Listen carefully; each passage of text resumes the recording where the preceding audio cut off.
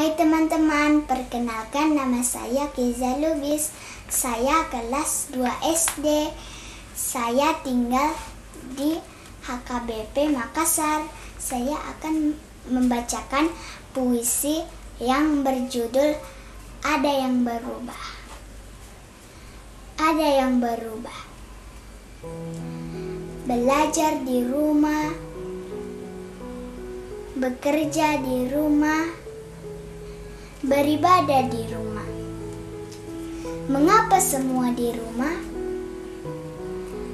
Lama sudah tidak ke sekolah, lama sudah tidak ke gereja, lama sudah tidak pergi jalan-jalan.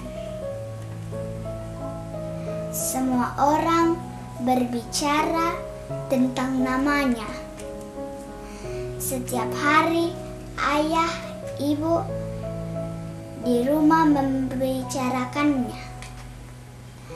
Dalam doa, ayah dan ibu juga ada namanya. Pergi keluar pakai masker, pulang ke rumah langsung cuci tangan. Setiap hari makan yang sehat. Dulu tidak pernah seperti ini. Namun sekarang itu dilakukan berulang-ulang. Ayah dan ibuku bilang lebih baik mencegah dan daripada mengobati. Kita sehat orang lain selamat. Aku aku rindu datang ke sekolah, rindu bermain dengan teman,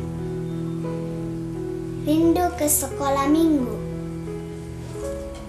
Kapan, kapan, kapan? Seperti dulu lagi. Ada banyak cerita yang mau dibagi kepada teman. Doaku kepada Tuhan diberi keselamatan supaya bisa berjumpa kembali. Demikian puisi Kezia yang berjudul Ada yang berubah. Tuhan Yesus memberkati kita semua. Shalom.